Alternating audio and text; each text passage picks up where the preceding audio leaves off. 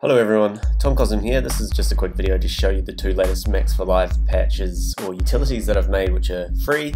Um, they might be handy for some people, they're a bit strange, but uh, you might like them. So the first one is called Locator Trigger, and what that does is once you load it in, it will go through your set and analyze it to check if there's any location markers or locator points in your set. So first, let's just add a couple here to show you. Second, just one more. And then once you can just rescan it here, it will find out where they are, and you can simply just trigger them by clicking on the go button. So that'll jump to the first one, that'll jump to the second one. See, we can play it like so. You can also go next and back, and these are all MIDI assignable as well if you want to um, assign MIDI buttons or key buttons to these individual things. Um, and also what this does is if you actually go into the session view and create a new MIDI clip and rename it to something, so for example one um, two, and three.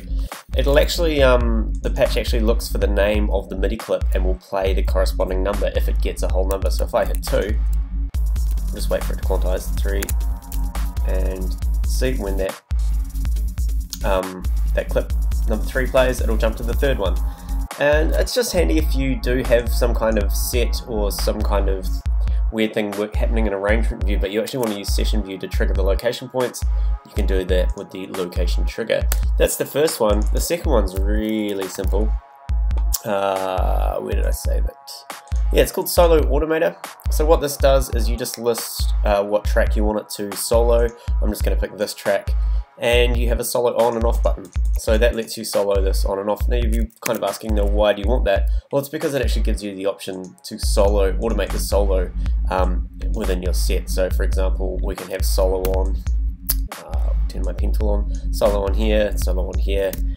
And now if we just play that, you'll see that you can automate the solo because you can't actually automate the solo by default in Ableton Live, um, which I believe is just a thing that they didn't add because that's not something you usually do, but somebody might want to do that.